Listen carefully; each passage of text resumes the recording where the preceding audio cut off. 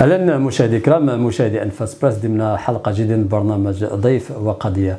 الضيف اللي معنا الآن قادم وأتانا من مدينة طنجة طنجة العالية وهو أيضا عال في تكوينه وفي نشاطه الحقوقي وأيضا نشاطه كمحامي. الضيف اللي معنا هو الدكتور إسماعيل جباري القرفطي دكتور في الحقوق وأيضا محامي بهيئة طنجة وأيضا هو رئيس مركز الدراسات والإبحاث الدستورية وتحليل السياسات. القضية اللي غادي نناقشوا ما هي مجموعة قضايا إن صح التعبير؟ آه، قضايا تتعلق اولا بالمهنة المحاماة على خلفية هذا التوقف الشامل عن أداء مهام الدفاع من بداية من اليوم الجمعه فاتح ونبير إلى أجل غير مسمى وأيضا سوف نناقش مع عدد من التطورات السياسية والحقوقية التي تعرفها بلادنا. أستاذ إسماعيل أهلا وسهلا مرحبا بك. مرحبا بكم وشكرا جزيلا على الاستضافة في أنفاس بريس الذي هي دائما في صلب التحولات وكذلك في موقع أي تحول سياسي وتشريعي وحقوقي. شكرا لكم. الشكر موصول لك دكتور. اولا آه، جيتنا من مدينة طنجة طنجة العالية. نعم. وشرف لنا أنك تكون معنا ونحن في اليوم الأول من هذا الشكل النضالي والاحتجاجي اللي خذته جمعية هيئات المحامي المغرب والمتعلق بالتوقف الشامل عن أداء مهام الدفاع. هل من السهولة القيام بهذا الشكل الاحتجاجي؟ اولا نحن أمام موقف غير مسبوق وعمل غير مسبوق لأننا أمام سياسة غير مسبوقه سياسات لا على مستوى الموقف ولا كذلك على مستوى الخطاب وكذلك على مستوى مجموعة من التعبيرات. اذا هو موقف غير مسبوق ولكننا أمام سياسة غير مسبوقه سياسات ترتبط بالمجال التشريعي هناك مخطط تشريعي في خلق مجموعة من الضمانات. الضمانات المصدرية الضمانات الحقوقية الضمانات الدستورية طبعا. وهذا يمكن أن نقول أنه ضمانات تخرق الوثيقة الدستورية التي جاءت بأبعاد جديدة جاءت بأبعاد ترتبط بأن القرار العام يجب أن يكون مشتركا بين الدولة والمجتمع. كذلك المخرجات في المجال الشرعي يجب أن تأخذ بعين الاعتبار المبادئ التي أصبحت مبادئ دستوريه كضمانة حق الدفاع كالمساواه أمام القانون. اذا نحن أمام موقف غير مسبوق ولكن بالمقابل أنه آه، سياسة غير مسبوقة لأنها سياسات ربما آه، فيها نوع من المساس بضمانة حقوق الدفاع نوع من المساس بحقوق قد القاضي نوع من المساء بمبدأ اللجوء المطلق إلى العدالة. اذا هناك تهديد آه، للممارسة المهنية لضمانات المحاكمة العادلة. تهديد أيضا لاجيال للمحاميات والمحامين الذين التحقوا بالمهنه لا يمكن أن يقدموا واجبهم أمام العدالة وأمام القضاء آه، بضمانات فيها مساس خطير بالضمانات الدستورية. هذا جانب. الجانب التالي الآن نحن سننتظر. ماذا سيقع الآن؟ من اليوم؟ أكيد أكيد أن من خلال النقاش العمومي السياسي التشريعي دائما نتحدث أن هناك آليات دستورية ومؤسسات في مجال حقوق الإنسان وآليات مؤسسات مضمنة في الوثيقة الدستورية الآن هذه الآليات وهذه المؤسسات موضوع اختبار. هل القضاء الآن في إطار استقلاله الآن؟ في إطار نحن نتحدث عن السلطة القضائية. نعم. هل أنه سيتحمل مسؤوليته على مستوى ضمانات حق الدفاع؟ لأن الحق في التقاضي حق يرتبط بالأفراد والمواطنين والمتقاضين في الأصل. هل القضاء الآن كسلطة قضائية ستعمل على تعزيز هذه الضمانات؟ بالجانب الآخر هل النيابة العامة بأبعادها الجديدة المرتبطة باستقلال النيابة العامة هل أنها ستعمل على تعزيز الضمانات المرتبطة بالحقوق والحريات المضمنة في الوثيقة الدستورية والمضمنة كذلك مجموعة من الآليات؟ هل هل الآن سنكون أمام اختبار آخر يرتبط بمؤسسات الحكامة مؤسسة الوسيط المجلس الوطني لحقوق الإنسان؟ في ظل هذه التحولات. ممكن أن نقول اليوم اليوم نحن أمام اختبار. سننتظر ماذا سيقع. هذا هو السؤال دكتور. ملي كنتكلموا على سد باب الحوار من قبل وزارة العدل ألا توجد أبواب أخرى من قبل رئيس الحكومة من قبل هذه المؤسسات الوسطى المفروض أنه المحامون ممثلون في جمعية المحامين يطرقوا هذه الأبواب هذه حتى هي. طبعا اولا المحامون قدموا مجموعة من الخطوات.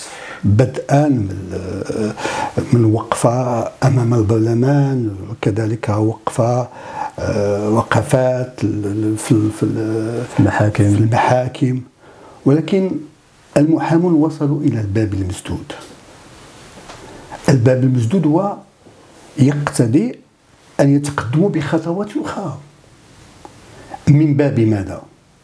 من باب تعزيز ضمانات الحقوق. من باب تعزيز ضمانات الحقوق والحريات. فعندما نتحدث عن عن مشروع قانون المسطرة المدنية لم يعتمد على المقاربه التشاركية. أكيد لأنه مجموعة من المؤسسات والسلطات قدموا تقارير موضوعاتية. حتى هيئات الدفاع قدمت تقارير موضوعاتية. عقدت مجموعة من الندوات والمناظرات واللقاءات. لم تؤخذ بعين الاعتبار ملاحظاتهم لا من حيث الضمانات ولا من حيث المرجعيات. وهذا بطبيعة الحال آه، يعتبر خرقا أساسي من أحد المبادئ الأساسية في الوثيقة الدستورية هو المبدأ التشاركية. خصوصا لأن التشريع التشريع هو شكل من أشكال القرار العمومي. لا يمكن أن نضع التشريع الآن يرتبط بالمنظومة القضائية يرتبط بالضمانات كيف اللجوء إلى القضاء؟ بدون إشراك أقول بدون إشراك. جزء أساسي من منظومة العدالة هو المحامين لأن المحامون دائما كانوا في قلب التحولات في الماضي واليوم وغدا. لأنه لا يمكن أن نتحدث عن دورة الحقوق ودورة الحريات والضمانات إلى آخره بدون أن يكون محاميا في قلب أي تحول شرعي في قلب أي تحول قضائي.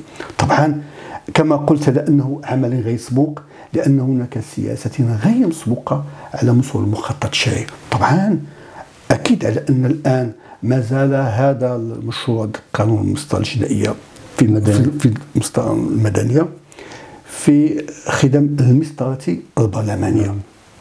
مازال أمامنا الغرفة الثانية. طبعا. ولكن هناك آليات أخرى. نعم. آليات ترتبط أولا باللجوء إلى إلى المحكمة الدستورية. من خلال مقتضيات الفصل 132 من الدستور. كذلك اللجوء إلى مقتضيات الفصل 95 من الدستور ما يسمى بالاعتراض الملكي أو ما يسمى دستوريا باللجوء بالطلب القراءة الثانية الجديدة. وهي آلية جديدة قبل الأمر بتنفيذ القانون آه، وتضمينه بالجريدة الرسمية أصبح نافذا. يعني في نظرك أمام هذا الإغلاق باب الحوار هل نحن أمام شخصنة ديال هذا الأمر هذا. البعض كيقول بأنه شخص الوزير الوزير الحالي الوزير الوهابي يعني يمنع بشكل شخصي أو شخص بشكل ذاتي هذا الحوار أو تراجع عن هذه المسطرة المدنية. أنا اذهب في اتجاه فرضية أن هناك سياسات. سياسات لا تأخذ بعين الاعتبار موقع المحاماة وموقع المحامين داخل منظومه العدالة وهذا طبيعة الحال. ليس هو نتيج اليوم ولكن هناك مسلسل طويل. بدءا من آه، نفاذ مقتضيات دستور 2011 نعم. إلى حدود اللحظه من 2011 إلى 2024 تم صدور مجموعة من القوانين والتشريعات. هناك تشريعات متعددة هناك قوانين تنظيميه متعددة. المحامون لم يكونوا في قلب هذه التحولات. هل أنهم غيبوا لاسباب لسنا لست أدري أو أن هناك كانت سياسات ترتبط بإعطاء بعد جديد للمحاماة. ولكن المحاماة في الأصل المحاماة في الأصل هي قبل أن تكون آه، تقديم مذكرات ومرافعات ولكن هي رسالة. عندما نتحدث عن رسالة نتحدث ان المحاماة موقف. محاماة راي وهذا طبعا إذا ذهبنا في تاريخ المحاكمات وتاريخ التحولات التي وقعت في المغرب تاريخ الانتهاكات الجسيمة أو تاريخ المظالم ما وما أسفر عنه من جبهة العدالة الانتقالية وهيئة التحكيم المستقلة وتوصيات هيئة الإنصاف والمصالحه التي أصبحت جزء كبير منها داخل الوثيقة الدستورية. من كان في قلب هذه التحولات؟ طبعا المعاون نقباء هذا جانب. في الجوانب المتعلقة بالقضية الوطنية قضية السيادة. من كان في قلب التحولات؟ المحامون. في التحولات في المجال الانتقال من دولة القانون إلى دولة الحقوق والحريات. دولة تحترم احترام السلطات وفصل السلطات واستقلال السلطة القضائية واستقلال النيابة العامة ومؤسسات الحكمة من كان سباقا من دفع في هذا الاتجاه. لكن اسمح لي دكتور يعني ملي كنتكلموا على هذه المرحلة جميل ملي استرجعتيها نبقاو فيها. ملي كنتكلموا في هذه المرحلة هذه كان واحد الشد وجذب بين المحامين من خلال جمعية هيئة المحامين من خلال أيضا النقباء والدولة. في ذاك العصر ديال الانتهاكات الجسيمه لحقوق الانسان عصر آه، زمن الرصاص. ولكن ما وصلناش لهذا الاحتقان اللي كاين الآن بين المحامون وبين الوزير. كما قلت راه هذا الشكل مسبوق أنه توصلوا لواحد الأمر أنكم تقاطعوا الجلسات بصفة نهائية. هذا الشكل ما كانش في واحد الزمن ديال المواجهه لأن هناك سياسه غير مسبوقة. المحامون لهم إشكال حقيقي. أي ما هو المخاطب؟ من سنخاطب؟ هل سنخاطب السلطة القضائية؟ هي سلطة مستقلة. هل طبعا سنخاطب الجهات التي لها السلطة التنفيذية على مستوى التشريع هي وزارة العدل. إذا ليس هناك مخاطب. هذا هو الذي جعل المحامين والمحاميات من خلال مؤسساتهم ومن خلال جمعية هيئة المحامين بالمغرب يلجؤون إلى هذه الصيغة. نعم. ولكن هي صيغة مشروعة. لأن ليس هناك مخاطب. وليس هناك كذلك الضمانات. اذا المحامون اليوم يتوقفون اليوم من أجل ماذا؟ من أجل العداله من أجل رسالة المحاماة. من أجل الحقوق والحريات. حقيقة أن المواقف الصعبة هي التي تخدم المستقبل. في اللجوء المحامون اليوم هناك عودة الروح إلى المحاماة. عودة الروح إلى رسالة المحاماة. عودة الروح كذلك إلى موقع المحاماة داخل المنظومة. الدستورية والقضائية. طبعا عندما نتحدث عن المشاريع القوانين هناك مشروع قانون المسطرة المدنية وهناك مشروع قانون المسطرة الجنائي التي أحيل من جديد على الأمانة العامة للحكومة. هناك مقتضيات أخرى ترتبط بقانون المهنة. ترتبط بالقانون التنظيمي بالشأن الإضراب ترتبط بقوانين ترتبط بمنظومة العدالة.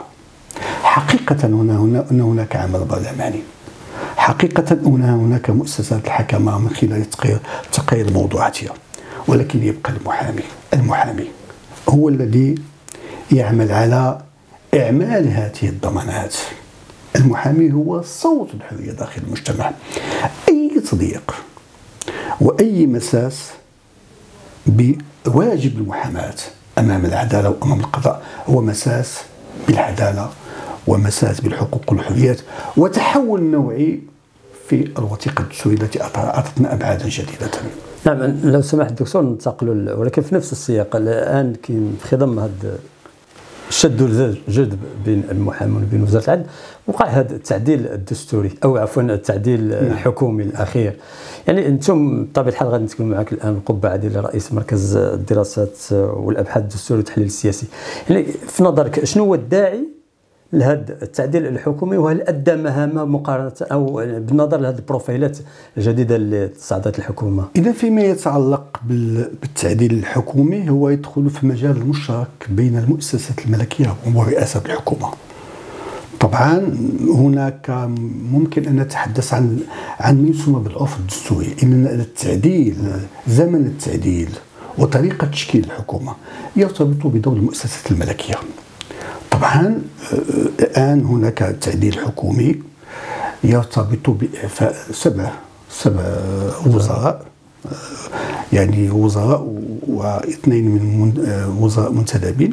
كذلك هناك 15 يعني 14 وزيرا إما وزراء وإما كتاب دولة ومنتدبين. إذا الهدف من هذا التعديل هل أم يتعلق بالتقاليد الدستورية أم أم يتعلق بالشرط السياسي؟ هما معا. هناك تقليد دستوري أكيد يخضع لمقتضيات الفصل 47 و 88 من الدستور ولكن هناك شرط سياسيا. إذا لاحظنا في الطريقة ديال تشكيل الحكومة يطغى عليها بعد التضامن الاجتماعي ويدخل على نظام الاستثمارات وتعزيز بعض المؤسسات المرتبطة بالدولة الاجتماعية. السؤال الذي يطرح الآن. هل هذا التعديل الحكومي الآن خلق رجة سياسية في الحياة السياسية المغربية؟ هل هذا التعديل الحكومي الآن من خلاله ربما يخلق ديناميكية يخلق نقاشا عموميا على مستوى السياسات الشرعية على مستوى الإجراءات طبعا هذا يقتضي وقت يعني من أجل تقييم مؤشرات هذه التحولات إذا التعديل الدستوري جاء من باب ماذا؟ اولا التعديل الحكومي. التعديل الحكومي. التعديل الحكومي. اولا جاء من باب هناك شرط سياسيا. جاء من باب إعطاء بعدا جديدا للعمل الحكومي خصوصا في القضايا المرتبطة بالبعد الاجتماعي. وجاء أيضا من إعطاء ديناميكية سياسية حقيقية في الحياة السياسية المغربية. لأن ما ماذا ينقصه الحياة السياسية المغربية؟ ينقصها نقاشا عموميا سياسيا حقيقيا. ربما هذا هو المفتقد الآن في اعلاميا ومجتمعيا هذا النقاش السياسي. لأن أي مؤشر لأن أي مؤشر لدولة الحقوق والحريات وأي مؤشر أن دولة ديمقراطية قويه هو مؤشر النقاش العمومي طبعا الآن هناك مجموعة من القضايا.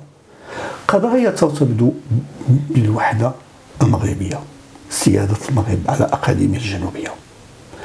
قضايا ترتبط بأبعاد جديدة لعلاقة المغرب مع فرنسا مع الجمهورية الفرنسية. أبعاد جديدة ترتبط بموقع المغرب في المجتمع الدولي. أبعاد جديدة ترتبط بالتحولات داخل المجتمع تحولات النخب والطبقة الوسطى. أبعاد جديدة ترتبط أن لا يمكن أن تكون هناك سياسة إلا إلا بالقانون إلا بالتشريع إذا هناك قضايا حقيقية. قضايا ترتبط بالوحدة الوطنية. أكيد أن هناك تحولات. تحولات عميقة جدا. هناك أبعاد جديدة للوحدة وحده التراب الوطني. وهنا نشير فيما يتعلق بمحكمة العدل الأوروبية. عندما قضت بتلك القرار لابد أن نسجل بعض الملاحظات. أن قرار المحكمه محكمة العدل الأوروبية هو يمكن مراجعته لأنه له منطق خاص. ولكن السيادة لا يمكن مراجعتها نعم. سيادة المملكة المغربية لا يمكن أن تكون أن تكون موضوع مراجعة وأن تكون موضوع تعديل لأن وهذا ما لاحظناه في من خلال آه، كلمة السيد رئيس البرلمان عند آه، جاء السيد رئيس الجمهورية الفرنسية ماكرون عندما أكد رئيس البرلمان قال على أن الوحدة الترابية هي قضية مقدسة وقضية وجود. كذلك جلالة الملك. في افتتاحه آه، افتتاحه البرلمان. أكد نقطة أساسية وهي هي القضية الوطنية. أصبحت الآن القضية الوطنية قضية أولوية. أولوية على مستوى المجال الدبلوماسي. على مستوى النقاش العمومي. على مستوى بحث يعني بحث عن عن علاقات وبحث دبلوماسي جديد. اذا ممكن أن نقول على أن الحياة السياسية المغربية موجود فيها قضايا عمومية متعددة. نعم أولى بالنقاش. اذا لابد أن نفتح نقاشا جديدا بأبعاد جديدة بنخب جديدة.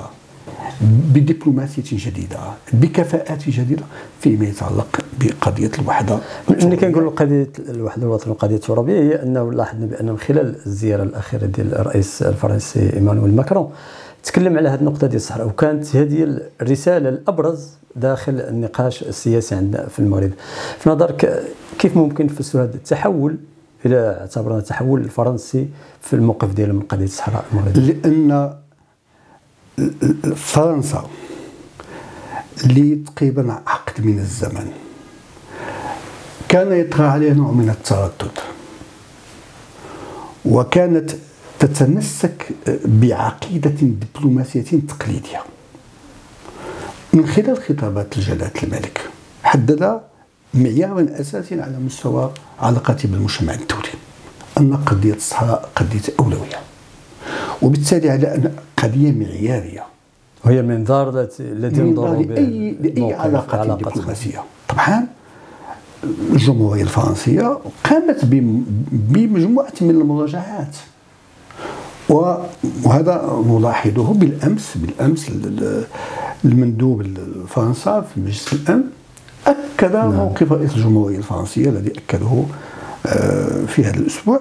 اذا نحن أمام عقيدة دبلوماسية جديدة لفرنسا تجاه المملكة المغربية. هناك اختيار هناك اختيار استراتيجي. هذا الاختيار كان بناء على ماذا؟ كان بناء على نوع من مسلسل العمل مسلسل التحالفات إعطاء أبعاد جديدة لقضية الصحراء التي هي قضية قضية وجود وقضية سيادة وقضية ذاكرة وقضية تاريخ. إذا الآن نحن أمام قضايا متعددة في المجال العمومي. تقتضي أن نفتح فيها نقاش. من أجل ماذا؟ من أجل تعزيز ثقة المواطنين في مؤسساتهم. من أجل تعزيز ثقة الأفراد المغاربة في السلط من أجل جعل القضية قضية مغاربة. كل المغاربة. يجب أن يساهموا في هذا الموضوع. أن يساهموا في موضوع العمومي المرتبط بالسياسات العمومية وأن يساهموا في الموضوع الذي يرتبط بوجود المغرب ومستقبله ومستقبل أجياله. نعم دكتور إسماعيل جباري القرفتي شكرا جزيلا لك. شكرا لكم كنت معنا في هذا اللقاء من ضيف وقضية وتناول فيه مجموعة ديال النقاط. أستاذ شكرا جزيلا لك مرة أخرى. شكرا لكم وكل التوفيق إن شاء الله. شكرا مرحبا شكرا.